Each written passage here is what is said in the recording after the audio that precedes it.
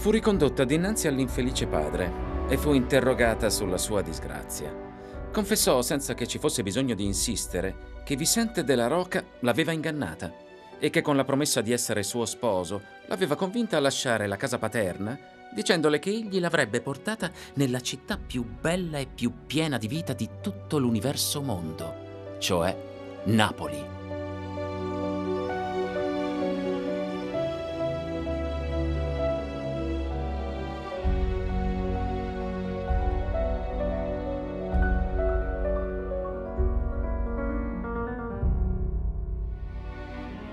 La città di Napoli è costruita ad anfiteatro, come per assistere più comodamente alla festa della natura. Corinna, rimettendo piede sulla riva, non poté fare a meno di provare un sentimento di gioia.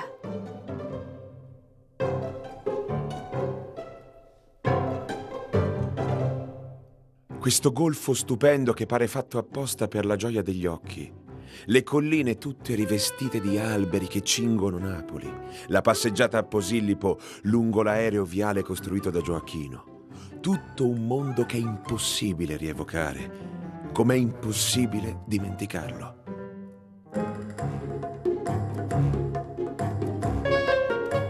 Grandiosa vista del Golfo di Napoli, del Monte Vomero e di Castel Sant'Elmo. In vettura al Castel Sant'Elmo una lunga strada.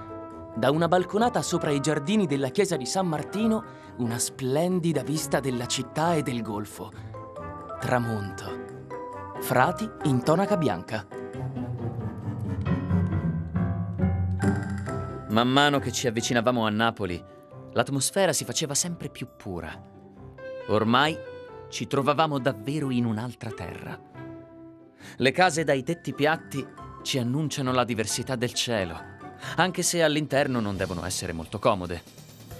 Il napoletano è convinto di avere per sé il paradiso e si fa una idea ben triste delle terre del settentrione. Sempre neve, case di legno, grande ignoranza, ma denari assai.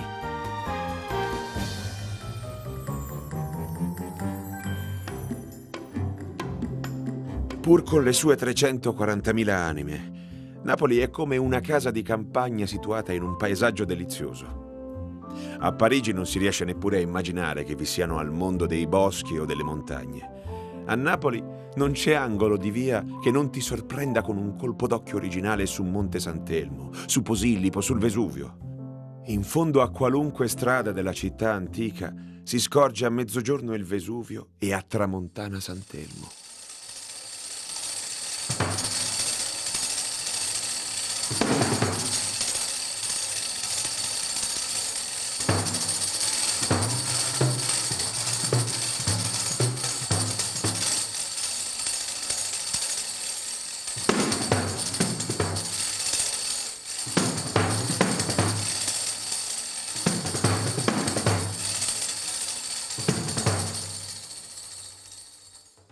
Napoletani si preoccupano poco di nazionalizzare la loro opinione e si contentano di dire di un uomo, di una donna o di una cosa che è loro simpatica o antipatica. I napoletani sono un popolo di sensazioni, ogni loro condotta è subordinata ai battiti del loro polso.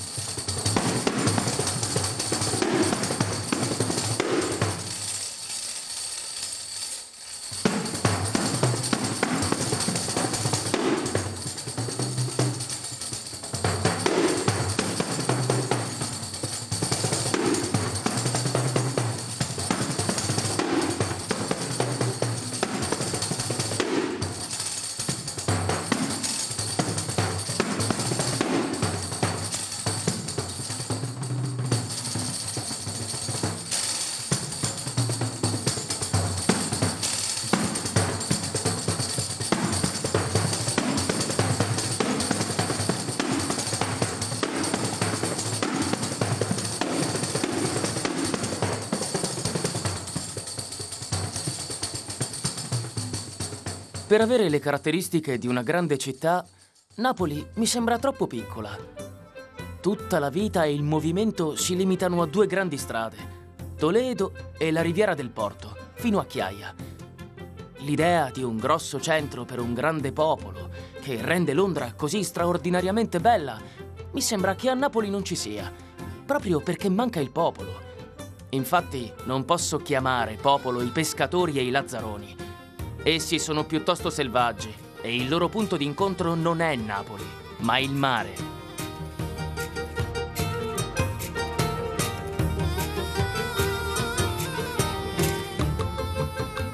Tutto questo e qualunque altra forma di vita all'aperto e di confusione, e il mangiar maccheroni al tramonto, e il vendere fiori durante tutta la giornata, lo vedete sulla spiaggia incantata dove le onde della baia luccicano allegramente.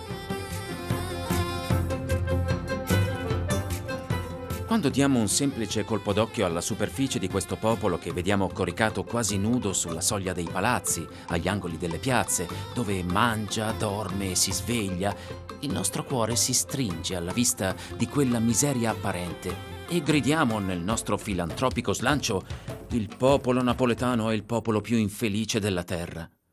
Ci sbagliamo, stranamente. No, il popolo napoletano non è infelice perché i suoi bisogni sono in armonia con i suoi desideri. Che cosa gli occorre per mangiare? Una pizza o una fetta di cocomero da mettere sotto i denti? Che cosa gli occorre per dormire? Una pietra da mettere sotto la testa. La sua nudità, che noi scambiamo per un dolore, è invece una gioia in questo clima ardente dove il sole veste col suo calore.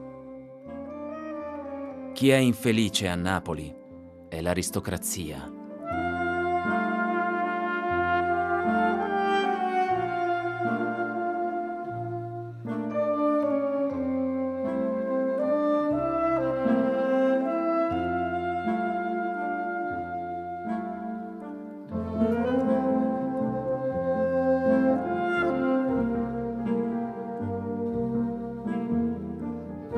A Napoli Invece del sole e dell'azzurro che mi aspettavo, trovai un cielo di piombo e sulla cima del Vesuvio una piccola nuvola immobile e inquietante. Conservo comunque un piacevole ricordo della quindicina di giorni trascorsi in questa città, metà spagnola e metà orientale. Essendo in ozio ne approfittai per visitare la città, per lo più in compagnia di Picasso.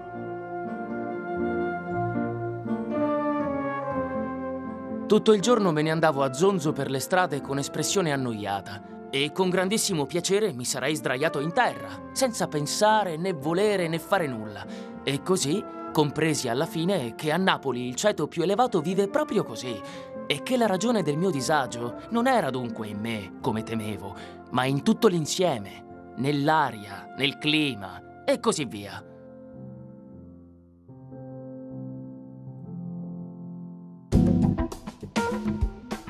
Generalmente le strade sono larghe abbastanza perché ci passi un carro, eppure quanto brulicano di gente. È come se Broadway si replicasse in ogni strada, in ogni cortile, in ogni vicolo. Che massa di gente, che folla, che moltitudini di umanità che va di fretta indaffarata, che si dimena da una parte e dall'altra. Mai veduto nulla del genere, nemmeno a New York, credo. È raro vedere marciapiedi e anche quando ci sono, il più delle volte non sono così spaziosi tanto da poter superare una persona senza urtarla. E così tutti camminano in mezzo alla strada.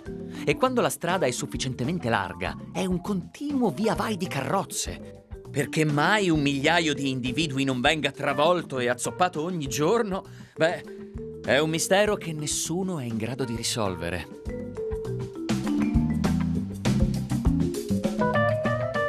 Calessi leggerissimi, che a Napoli sono usati come carrozze e che sono moltiplicati all'infinito, si incrociano perpetuamente in maniera singolare con tutte le altre vetture senza procurare il minimo disagio e quasi sempre senza incidenti.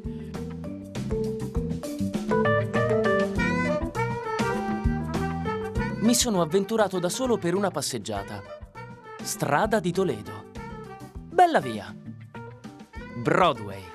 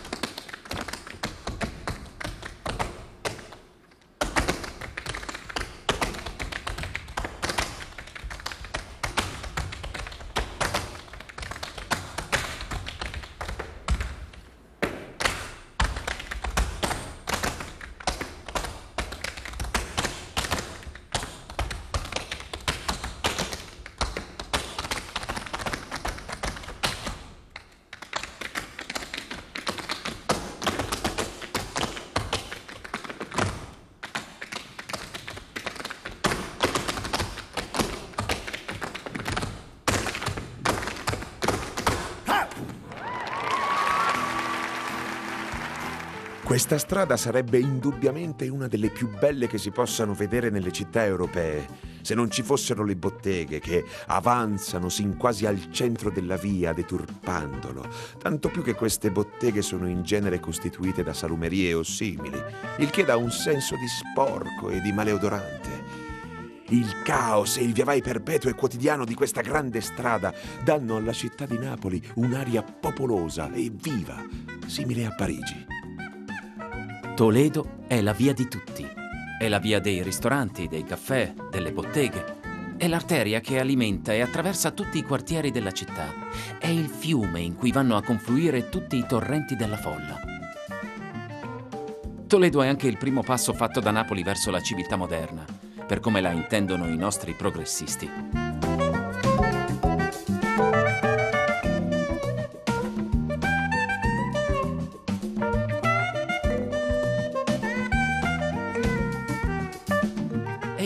Legame che congiunge la città poetica alla città industriale.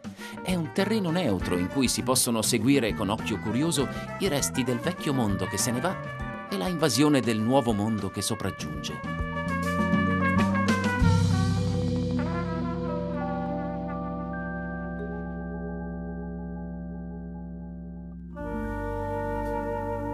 La città di Napoli, come tutte le altre città italiane, non è illuminata ma la quantità di luci che rischiarano le botteghe, l'enormità delle fiaccole che percorrono la città sia per illuminare le carrozze che i pedoni, rendono queste precauzioni inutili.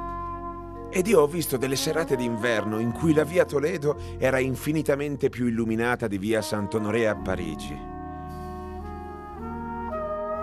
Ma quello che non si può raccontare né descrivere è la magnificenza di una notte di plenilunio quale l'abbiamo goduta vagando per vie e per piazze. Qui si ha veramente la sensazione dell'infinità dello spazio. Senza dubbio, vale la pena di sognare così.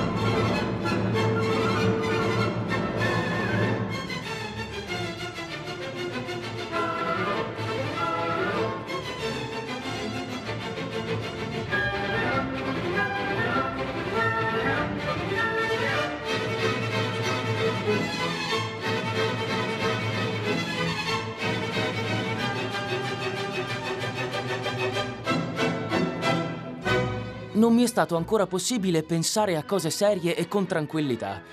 Intorno a me è tutto molto allegro e mi invita a non fare e a non pensare a nulla e a questo mi sento spinto irresistibilmente dall'esempio di molte migliaia di persone. Non che mi importi nulla di dove passi la notte, ma pensavo che fossi a Napoli e sai bene che a Napoli può succedere di tutto. Uh mugolò Dicky lanciando un'occhiata a Tom. Stava preparando un Mary per tutti. Tom tenne la bocca chiusa. Non aveva nessuna intenzione di raccontare a Marge come avevano passato la notte, che immaginasse quello che voleva. Dicky gli aveva dimostrato chiaramente di essersi divertito un mondo.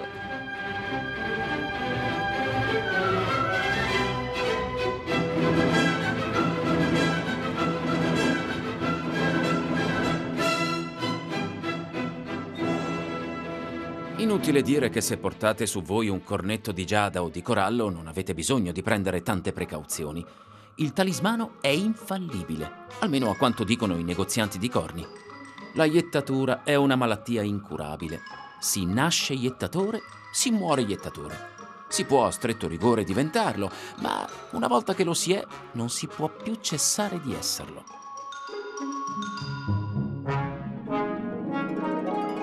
Ogni volta che vedete a Napoli due uomini che parlano nella strada e uno dei due abbia la mano ripiegata sul dorso, guardate bene il suo interlocutore. È uno iettatore, o almeno un uomo che ha la disgrazia di essere considerato tale.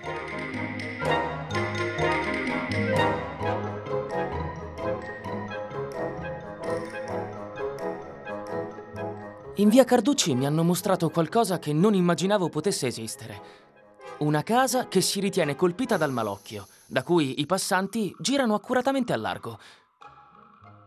Non c'è nulla di particolarmente sinistro. È soltanto un piccolo caseggiato moderno nel quale più di un inquilino ha posto fine ai propri giorni. L'unica soluzione sarebbe che fra vicini ci si mettesse insieme per raccogliere il denaro bastante a costruire sul muro esterno del palazzo maledetto un altarino, ponendolo sotto la speciale protezione di qualche potente esorcista, per esempio San Gennaro.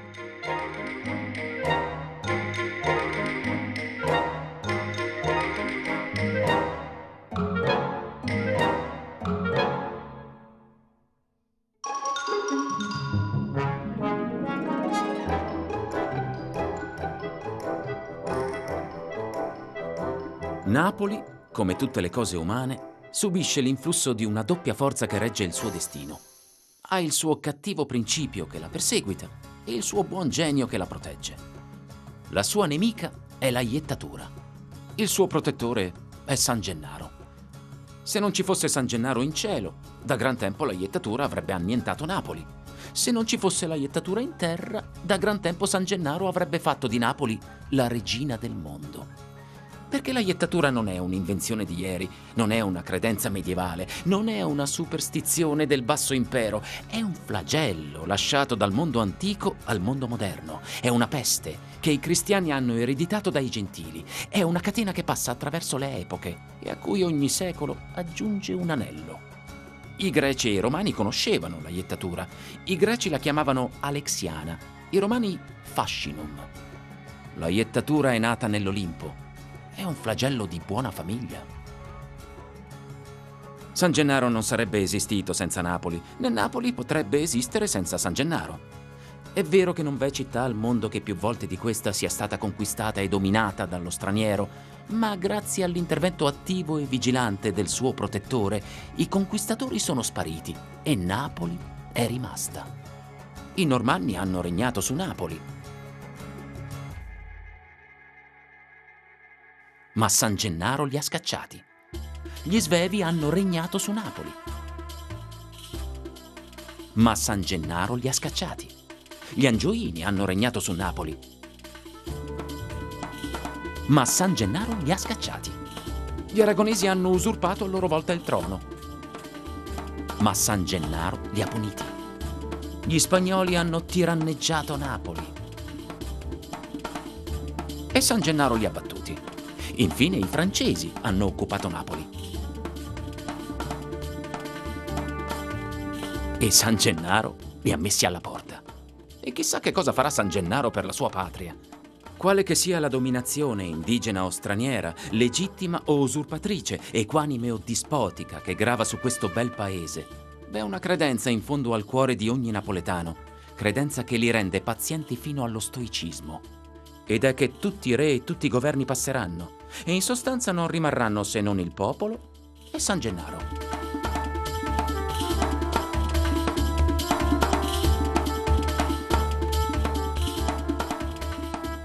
Tutto considerato, non c'è che da approvare che vi siano tanti santi.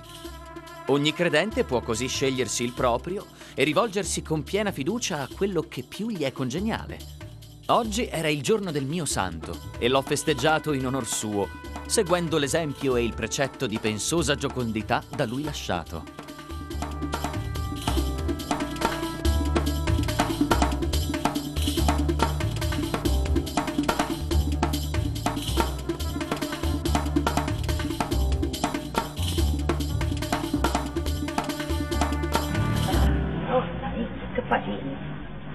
Ne vede che signori, signorina, a me. Fatta qualche onorevole eccezione, le classi alte hanno molta somiglianza con quelle più umili. Lo spirito di quelle non è molto più coltivato dello spirito di queste e le relazioni sociali ne segnano la sola differenza esteriore. Il popolo napoletano, sotto certi riguardi, non è volgare al modo degli altri popoli. La sua stessa maleducazione colpisce l'immaginazione. Signorina, mai per comando, me lo fate un favore? Mi andate a comprare 100 grammi di minuocchi? Io sono educata e servizievole. Andò dal saloniere. Per favore mi date 100 grammi di minuocchi? Chi le muove? Oh, e mi spara una rasata in faccia. Signorina, sapete cosa sono i minuocchi? No, mai saputo. I cazzo con l'occhio. A me, a me, proprio talento a me. E altre parole equivoche. A potente e per la pizza quando cammina la palla nel zizzo. E zizzo, poi, a due sti zizzo, a due bere... A chiuso, a chiuso, a chiuso, boh, chiuso. A così dai, a così dai. A così poche baci, a così dai, a così, a così dai. Ah.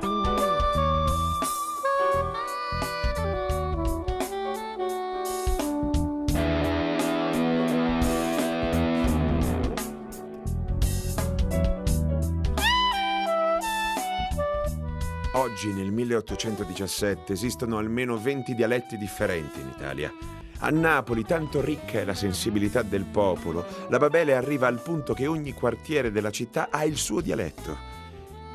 Il re non parla che napoletano e secondo me ha perfettamente ragione. Perché aver paura d'essere se stessi?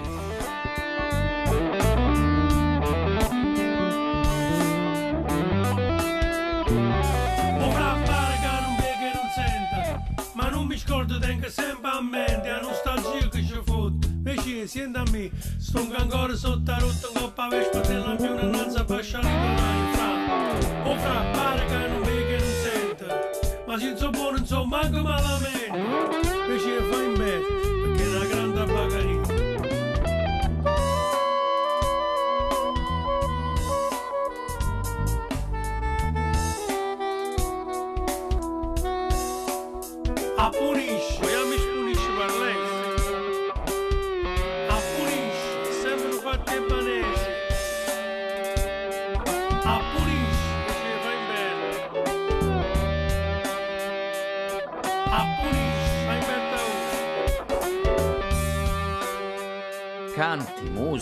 Una trascuratezza straordinaria, una miseria allegra che non ha freddo. Questa sarà la riflessione di Pierre. Oh, povero popolo Gaio, così bambino e ignorante che non si lamenta della propria miseria. Questa è certamente la democrazia meno cosciente di se stessa. Bisogna vergognarsene per lei? Desiderare più cultura e benessere? Essa certo non chiede niente. È felice di vivere con qualche soldo al giorno.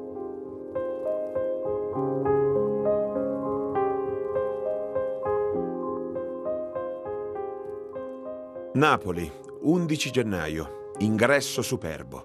Si scende per un'ora verso il mare lungo un ampio viale tagliato nella roccia tenera su cui la città è costruita. Solidità dei muri. Prima casa, l'albergo dei poveri. Un insieme ben più imponente della tanto vantata bomboniera che a Roma si chiama Porta del Popolo. Quello che mi ha un po' urtato a Napoli è la rozzezza di questa gente seminuda che neanche nei caffè ti si leva di torno.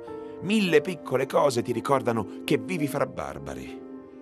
Eppure questi barbari, marioli solo perché poveri, non sono cattivi.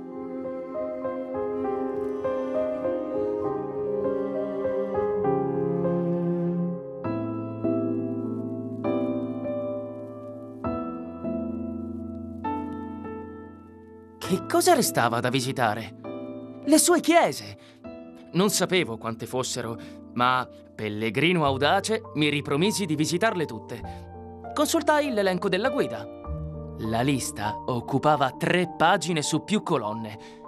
Feci il conto, c'erano 152 chiese. La qualcosa mi lasciò perplesso e più che mai sorpreso.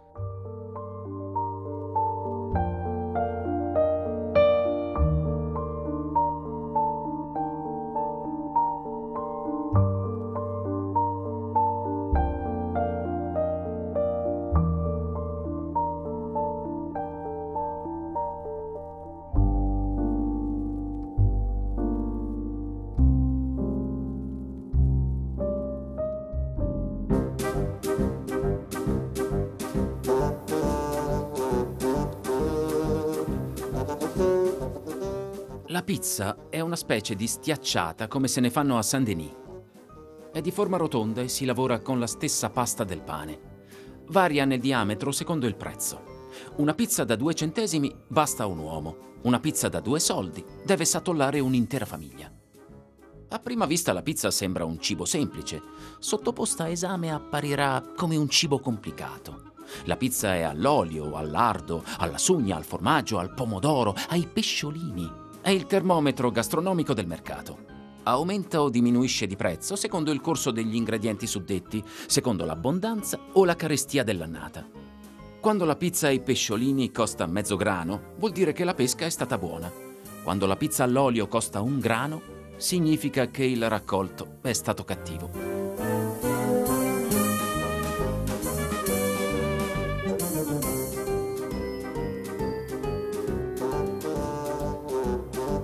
Gli acquaiuoli fanno i loro migliori affari in inverno. Il cocomero disseta, mentre la pizza fa nodo alla gola. Più si mangia cocomero e meno si ha sete. Ma non si può ingerire una pizza senza correre il rischio di rimanere soffocati.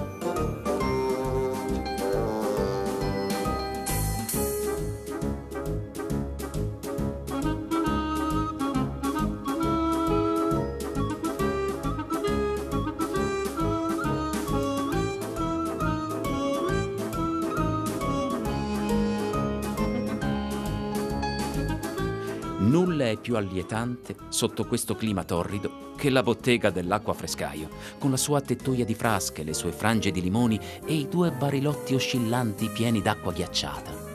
So per conto mio che non me ne stancavo mai e che trovavo adorabile quel modo di rinfrescarsi senza quasi aver bisogno di sostare. Gli acquaiuoli si susseguono a 50 passi un dall'altro. Non c'è che da tendere la mano passando. Il bicchiere viene a trovarvi e la bocca corre da sé al bicchiere. Oggi, mentre percorrevo in moto via Partenope, l'ho scampata per un pelo. Stavo andando in direzione di Castelnuovo.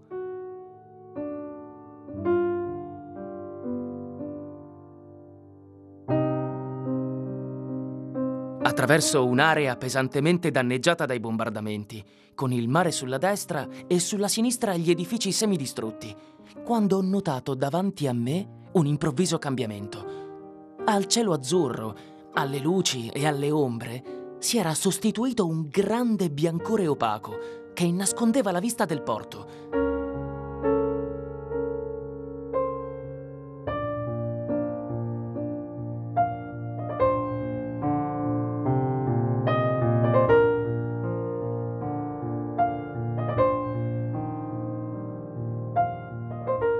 L'effetto era di un intero quartiere inghiottito da una nube di fumo bianco, come quello che a volte fuoriesce dalle ciminiere delle fabbriche di calce. '"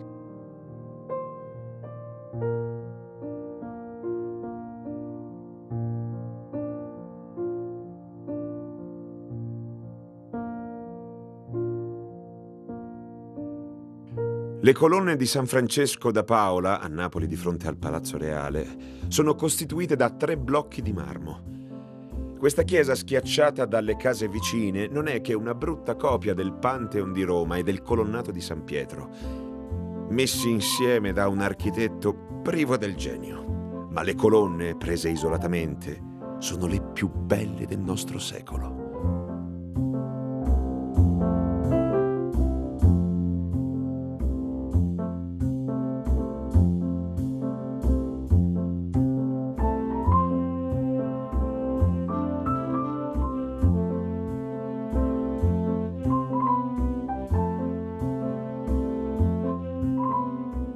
12 febbraio 1817. Finalmente il gran giorno. Il San Carlo apre i battenti. Grande eccitazione, torrenti di folla, sala abbagliante. All'ingresso scambi di pugni e spintoni.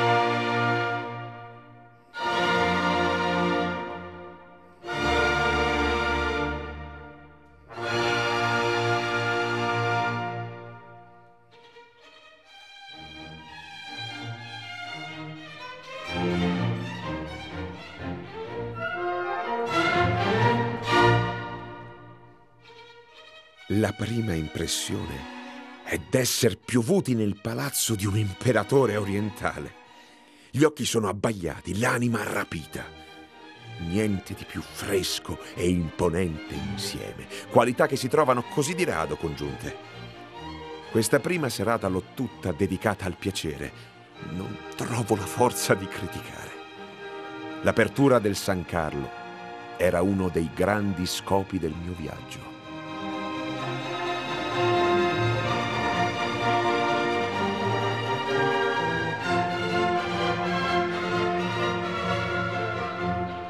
Non c'è nulla in tutta Europa che non dico si avvicini a questo teatro, ma ne dia la più pallida idea.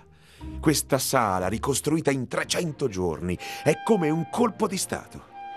Essa garantisce al re meglio della legge più perfetta il favore popolare e Napoli è ubriaca di patriottismo.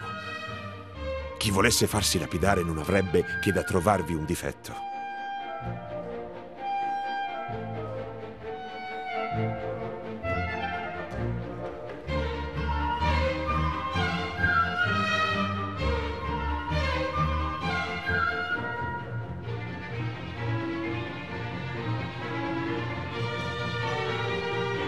Ora Napoli, a prescindere dai dintorni, si compone di tre strade in cui si va sempre e di 500 strade in cui non si va mai.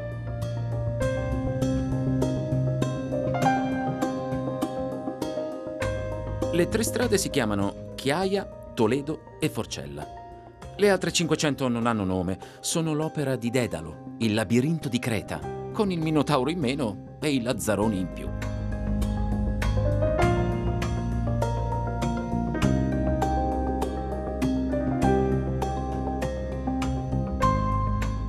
Se esiste però un'ottava meraviglia del mondo, devono essere senz'altro le abitazioni di Napoli. Onestamente credo che per la maggior parte siano alte un centinaio di piedi e le pareti di solidi mattoni sono spesse sette piedi. Si salgono nove piani di scale prima di arrivare al primo piano.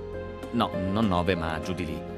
C'è una ringhiera di ferro tipo gabbia da uccellini davanti a ciascuna finestra e si sale, si sale sempre di più finché si giunge tra le nuvole eterne, lì dove si trova il tetto. E c'è sempre qualcuno che guarda da ogni finestra. Gente di corporatura normale che guarda dalla finestra del primo piano, gente appena più minuta al secondo piano, gente ancora più piccola al terzo. E da lì in poi la gente si fa sempre più piccola e si riduce in modo regolare e graduale, finché le persone affacciate alle finestre più in alto assomigliano a degli uccellini dentro una gabbia insolitamente alta, più di qualsiasi altra cosa al mondo. Lo scorcio di una di quelle anguste crepe che costituiscono le strade, con le file di alte case che si estendono fino a unirsi in lontananza come i binari della ferrovia. I fili per stendere i panni che si incrociano da una parte all'altra a ogni altezza, a cui sono appesi dei poveri stracci che garriscono al vento sulla folla delle persone che camminano in strada e le donne vestite di bianco appollaiate sulle ringhiere dei balconi, lungo tutta la via, dal pianterreno fin su, in cielo. Beh, per ammirare uno scorcio del genere, vale davvero la pena soffermarsi su ogni dettaglio di Napoli.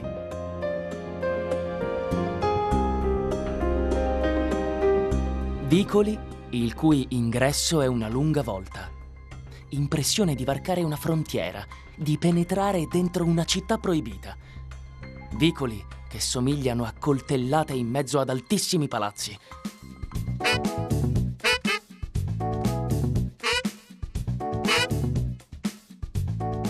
I panni che garriscono da una casa all'altra. Scienza innata di armonizzare i colori. Arte di drappeggiare, di arricciare, ereditata dai vecchi pavesamenti per i trionfi e i monarchi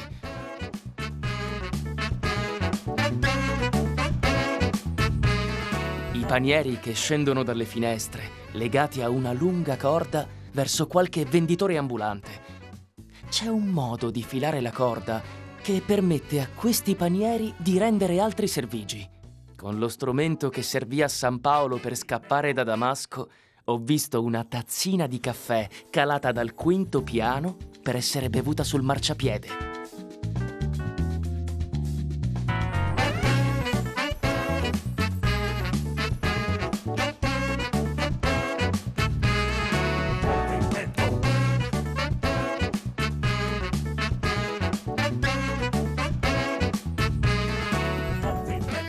1823 fui a Napoli con un uomo giudizioso che passava il tempo ad avere paura che gli rubassero le 18 camicie che aveva nella valigia. Noi ci siamo liberati di queste tristi preoccupazioni. Abbiamo pochissimo denaro ed orologi da 36 franchi. Non chiudiamo nulla a chiave. Queste preoccupazioni sono sempre di moda nei paesi selvaggi. In Inghilterra ci valutavano in base alla bellezza dell'orologio e dei gioielli d'oro depositati sul somno. La ragione è che nei paesi aristocratici bisogna mostrare la propria ricchezza, qui invece bisogna nasconderla.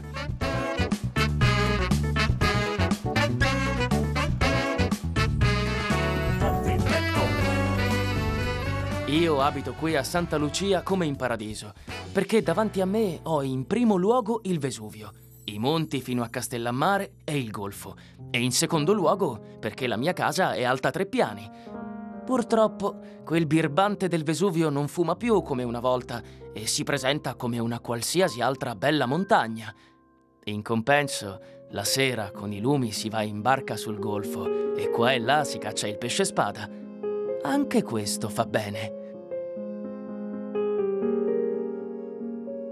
Il panorama di Napoli è straordinario. Dinanzi a me c'è un mare azzurro come il cielo, attorno montagne lilla e rosate dove sorgono dei paesi. Dinanzi a me c'è il Vesuvio. Adesso sputa fuoco e fiamme. È uno spettacolo meraviglioso. Si prevede un'eruzione, schianti, spari e rosse pietre infuocate che volano dalle sue profondità. Tutto questo è una meraviglia.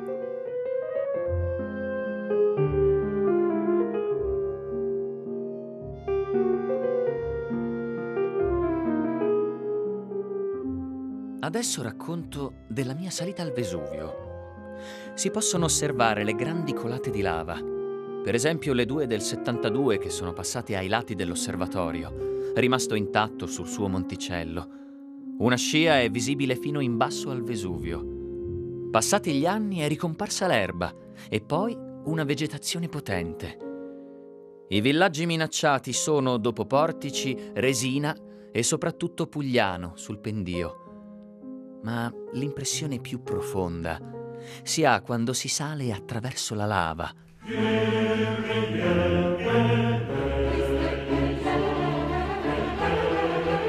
Un campo irto, lacerato, un ribollio solidificato, forme spaventose, convulse, contorte come membra giganti in un terribile miscuglio.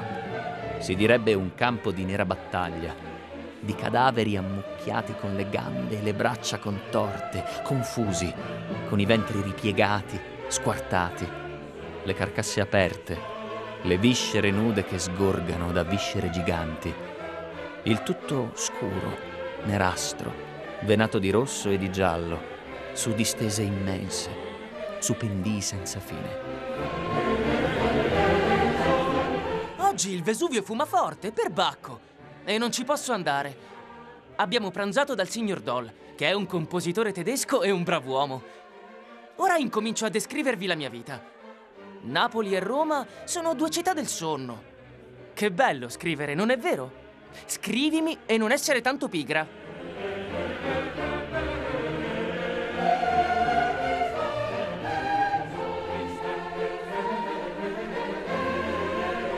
Esiste a Napoli una grotta sotterranea dove migliaia di lazzaroni passano la vita uscendo soltanto a mezzodì per vedere il sole e dormendo tutto il resto del giorno mentre le loro donne filano. Nei climi dove il vestirsi e il nutrirsi sono così facili, ci vorrebbe un governo molto indipendente e attivo per dare al popolo un'emulazione efficace. Perché è facile al popolo di Napoli sostentarsi materialmente ed esimersi così da ogni lavoro necessario altrove per guadagnarsi da vivere.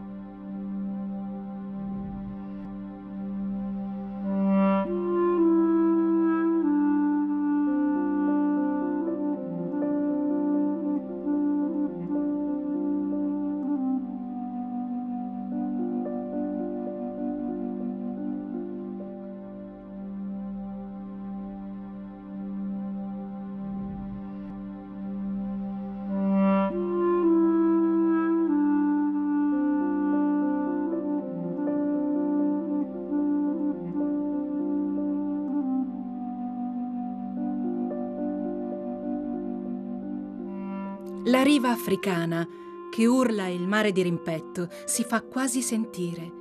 E vi è un non so che di inumidico nelle grida selvagge che si odono da ogni parte. Quei visi abbronzati, quelle vesti formate da pochi stracci rossi o violetti di cui il colore intenso attira gli sguardi, quei brandelli di abbigliamento che con istinto d'arte vengono ancora drappeggiati, danno alla plebaglia alcunché di pittoresco, mentre altrove non si possono scorgere in essa che le miserie della civilizzazione.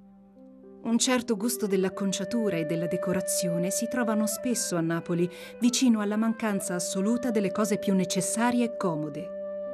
Le botteghe sono ornate piacevolmente di fiori e di frutta.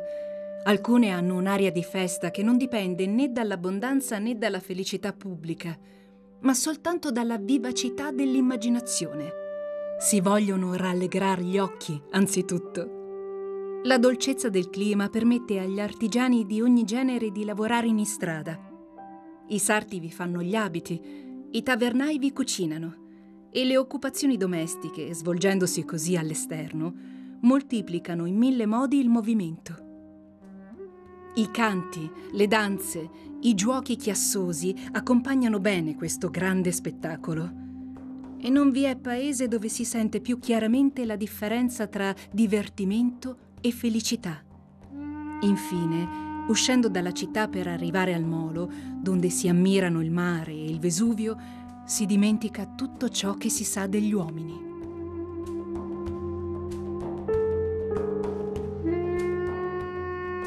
Il cielo è limpido e azzurro chiaro, ma così vivo che non si possono trovare colori per dipingerlo. Tutto è luminoso, la luce del sole è straordinaria. Sembra che qui non esistano ombre. Tutta Napoli e tutte le città che si incontrano in questa zona d'Italia sono senza tetto.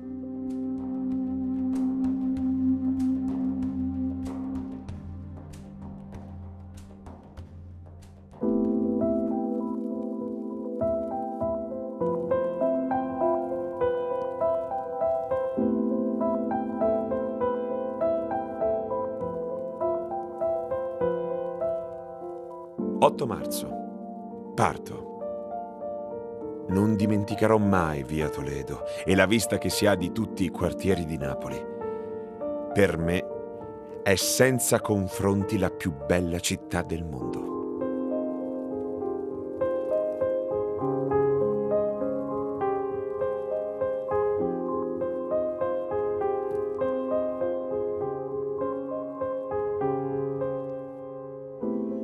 Si dica o racconti o si dipinga quel che si vuole, ma qui ogni attesa è superata.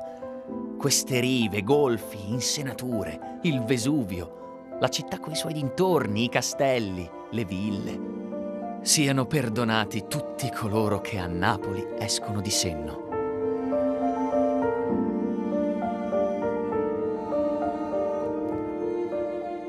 Per quanto si riferisce al paesaggio di questa terra, non saprei proprio descriverlo. E se non siete riusciti a farvene un'idea da tutti quelli che ne hanno scritto e parlato, difficilmente riuscirei a farlo io, perché non si può descrivere ciò che è indescrivibile.